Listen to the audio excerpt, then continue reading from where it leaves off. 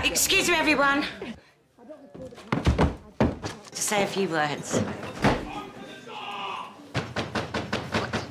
Don't worry, I've got it.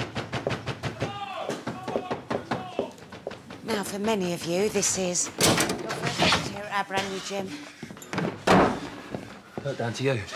Calm down. I just yeah. asked you a question. I'm certainly hoping it won't be the last. Don't you dare ignore me. Don't you dare embarrass your sister, and don't embarrass yourself. Everything state of the art here at crunch time. oh! Zack!